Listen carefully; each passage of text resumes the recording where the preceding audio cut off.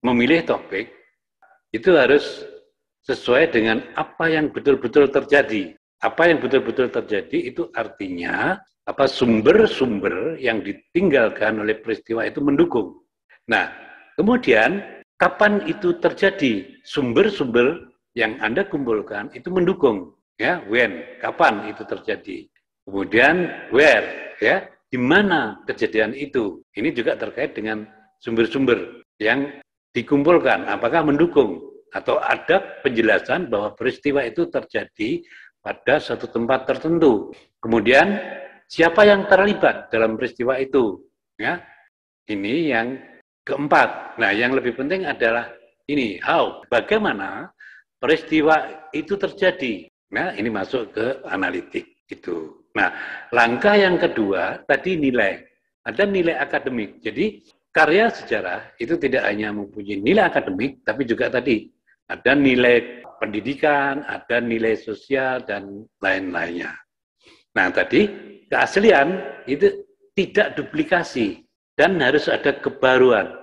Sekalipun topiknya sama, itu setiap penulis harus menghadirkan perspektif baru sehingga diperoleh ini kebaruan dari karya sejarah itu. Nah, kepraktisan ini terkait dengan tempat terjadinya peristiwa tadi sudah saya contohkan terkait sumber peristiwanya sudah jauh dari tempat tinggal peneliti dan sumber-sumbernya belum tentu lengkap. Ini terkait dengan sumber. Terkait dengan tujuan penulisan. Apakah tujuan penulisan itu untuk sebuah karya akademik? Ini juga terkait dengan aspek kepraktisan ini. Yang berikutnya, heuristik. Ya, ini langkah berikutnya, yaitu penelusuran sumber. Jadi dalam konteks ini, sumber yang ditelusuri itu ada sumber primer dan sumber sekunder. Bedanya apa sumber primer? Sumber primer misalnya tertulis itu adalah misalnya uh, diary ya, dari tokoh. Kemudian arsip-arsip yang terkait dengan peristiwa itu sumber primer. Nah, sumber sekunder apa? Misalnya orang yang memuat atau memberitakan peristiwa itu, itu sumber sekunder. Termasuk juga karya-karya terdahulu ya yang topiknya sama itu disebut sumber sekunder. Nah, selain itu ada sumber lisan. Ini melalui wawancara sejarah lisan atau tradisi lisan. Di dalam tradisi lisan itu kan bermacam-macam ya, ada mitos, macam-macam. Apakah misalnya mitos bisa dijadikan sumber sejarah? Ini heuristik dari aspek sources, sumber, sumber sejarah. Nah, yang yang kedua tadi sudah saya sebutkan corroboration. Jadi corroboration ini mencocokkan asumsi atau hipotesis dengan sumber yang diperoleh. Maksudnya begini, misalnya Anda membuat asumsi atau hipotesis petani di daerah Gerobokan itu miskin ya atau di daerah Demak ya Anda baca disertasinya Fernando itu ada di daerah Demak dan Gerobokan. Itu menjadi miskin karena sumber daya lahan ya itu tidak mencukupi sumber daya lahan misalnya lahannya kering macam-macam. Itu kan hipotesis Anda. Anda harus menguji hipotesis itu dengan menelusuri sumber-sumber apakah sumber-sumber itu cukup untuk apa mendukung asumsi atau hipotesis saudara. Jadi ini proses corroboration ini mencocokkan asumsi dengan sumber-sumber yang diperoleh. Jadi kalau sumber-sumber itu tidak mendukung hipotesis Anda tadi misalnya, nah kemudian contextualization ini, jadi contextualization ini bukti-bukti atau sumber-sumber tadi itu harus sesuai dengan rumus 4W1H ini. Jadi misalnya 4W-nya sudah diketemukan, apa peristiwa itu misalnya peristiwa pemberontakan petani Banten. Di mana peristiwa terjadi di Banten, ya 4W dan seterusnya itu. Kalau satu ini tidak terjawab dengan sumber-sumber atau bukti-bukti yang Anda peroleh, maka ini belum apa masuk ke konsep contextualization ini ya bagaimana pemberontakan petani Banten itu terjadi Ya. Kalau bukti-buktinya itu belum mendukung, maka contextualization ini lemah. Kemudian yang berikutnya, yakni verifikasi. Nah, tadi sudah saya sebut verifikasi, ini sering juga disebut kritik sumber. Nah, di dalam verifikasi itu ada kritik internal dan kritik eksternal. Nah, apa itu kritik internal? Yaitu kritik terhadap informasinya substansi dari dari sumber itu misalnya sumber sumber tertulis ya arsip atau dokumen informasinya ya apakah sesuai dengan peristiwa yang terjadi misalnya dari aspek bahasanya misalnya bahasa Belanda pada masa VOC itu berbeda dengan bahasa Belanda abad ke-19 Ya, bahasa Belanda abad ke-16 itu berbeda dengan bahasa Belanda abad ke-19. Bahasa Belanda abad ke-16 itu campuran. Ya, jadi ada bahasa Portugis dan seterusnya, jadi campuran. Nah, kalau misalnya Anda mengambil tema pada masa VOC, nah kemudian Anda menemukan arsip atau dokumen, ini kan informasinya, yang menggunakan bahasa Belanda abad 19 pasti ini tidak valid. Tuh ya, ini kritik internal, ini salah satu contoh. Nah, kemudian yang kedua fisik. Jadi media informasinya, kertas misalnya, apakah kertas yang digunakan itu memang kertas yang umum digunakan pada masa VOC?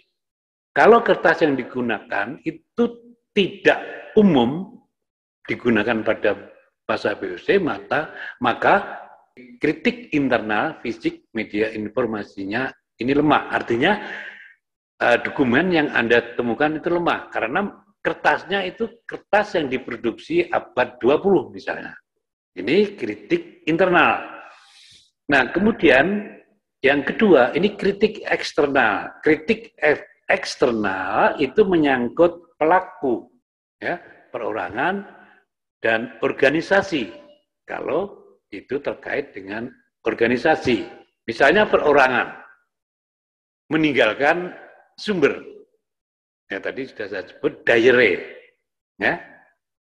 Kritik internal dari diare itu misalnya di dalam diare itu abad ke-19 misalnya atau awal abad ke-19 di dalam diare itu ditulis misalnya penyerbuan, misalnya topiknya beda, penyerbuan tentara Belanda di Yogyakarta pada masa revolusi itu menggunakan pesawat F-16, misalnya seperti itu. Ya, pada pesawat F-16 itu baru diproduksi abad 20. Maka apa penjelasan dari diary orang itu salah. Ya artinya apa sumber itu tidak bisa dipercaya.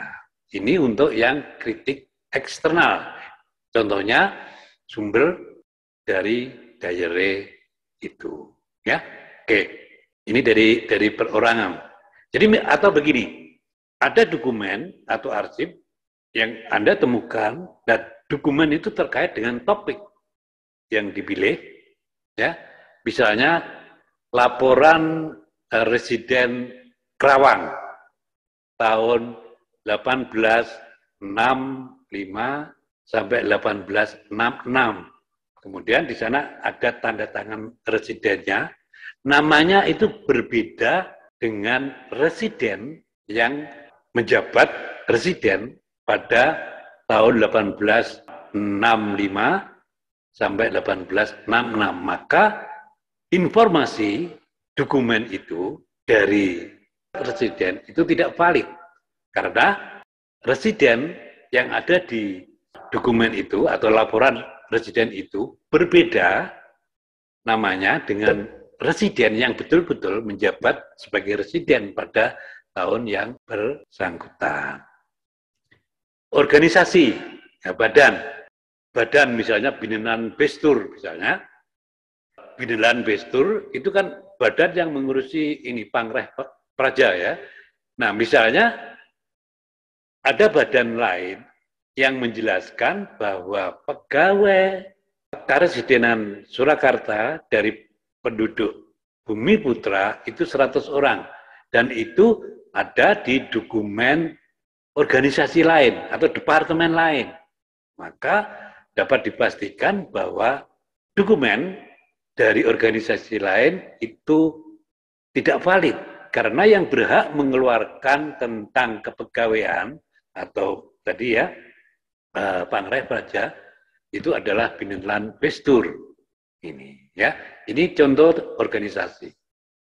Nah interpretasi tadi yang bagian berikutnya jadi pertama itu ada yang disebut sintesis jadi sintesis itu ini menjelaskan tadi ya sumber-sumber atau serpian-serpian peristiwa atau sumber-sumber peristiwa yang tidak lengkap itu dirangkai, dijelaskan menjadi satu peristiwa yang utuh. Walaupun sumber-sumber sejarah dari peristiwa itu tidak lengkap, tetapi dengan cara sintesis ini diharapkan rangkaian peristiwa itu menjadi utuh dengan sumber-sumber yang tidak lengkap. Ini yang dimaksud apa interpretasi sintesis itu. Nah, biasanya untuk interpretasi sintesis ini ada pendekatan atau perspektif konseptual. Jadi eh, dikerangkai dengan konsep-konsep sehingga penjelasan peristiwa itu bisa menjadi utuh. Ini. Nah, ada ini sebab akibat. Jadi interpretasi dengan apa perspektif sebab akibat ini menjelaskan ini terjadinya suatu peristiwa karena disebabkan oleh peristiwa yang lain. Jadi begini, tadi ya contoh-contoh yang gampang tadi, pemberontakan petani Banten memberontak karena terjadi proses pemiskinan masyarakat petani Banten yang diakibatkan eksploitasi besar-besaran sumber daya pertanian. Nah, ini jadi sebabnya karena ada eksploitasi sumber daya pertanian oleh pemerintah kolonial, maka petani Banten itu memberontak. Mengapa memberontak? Karena dia miskin. Nah, ini interpretasi sebab akibat. Jadi anda bisa menggunakan sintesis dengan menggunakan teori atau memperkaya sumber secara Anda bisa menjelaskan sebab akibat dengan menjelaskan peristiwa itu terjadi karena ada peristiwa sebelumnya dan ini harus didukung oleh sumber-sumber yang apa lebih kuat atau lebih banyak. Nah, yang ketiga yaitu menggunakan konsep dan teori. Ini untuk menjawab why. Mengapa peristiwa itu bisa terjadi? Kalau sebab akibat, ya tadi, petani miskin karena eksploitasi, maka dia memberontak. Nah, yang ketiga, why menggunakan konsep dan, dan teori, petani Banten memberontak karena mereka percaya akan datangnya Ratu adil. Nah, ini menggunakan teori misianisme atau menggunakan teorinya Smelser, collective behavior, ya. Why menggunakan teori itu juga bisa menjelaskan sebab akibat ini atau apa hampir sama dengan penjelasan sebab akibat ini. Nah, kesimpulannya dari jadi penelitian sejarah ya dimulai dari ini mengumpulkan bahan-bahan sebagai sumber informasi atau bahan-bahan sebagai pendukung penulisan sejarah atau sejarah S. Brighton itu. Ini yang disebut heuristik. Yang kedua, ada ini, kritik sumber tadi, ya, kritik sejarah.